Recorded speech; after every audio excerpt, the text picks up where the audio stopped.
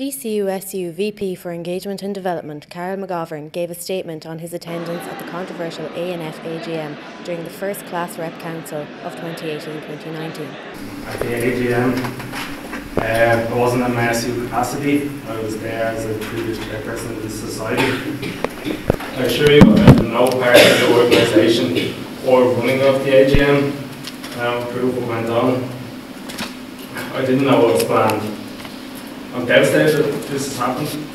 The situation got out of control. I didn't know what to do. Or should I? I should have intervened.